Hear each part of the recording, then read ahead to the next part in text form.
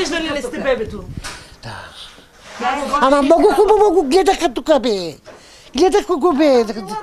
Е, аз съм на много хубаво го гледаха. А защо според вас го оставиха?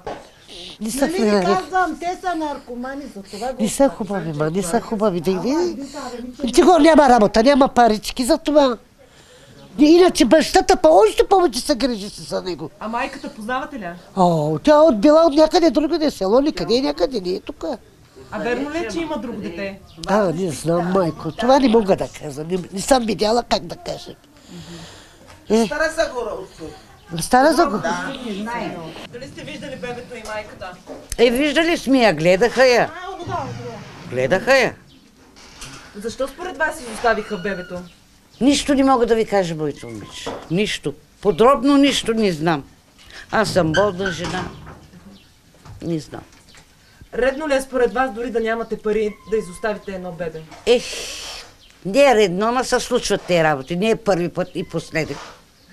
При всички стават това. И при българите става, и при нас става. Така ли? А хората казват, че те имали някакви проблеми, приемали са наркотици, нещо. Не знам. Не знам. Не съм видяла. Това не мога да кажа. Какви хора са майката и бащата на изоставеното бебе? Ами всички говорят, че са били наркомани и така нататък. Се занимали някакви работи други и така.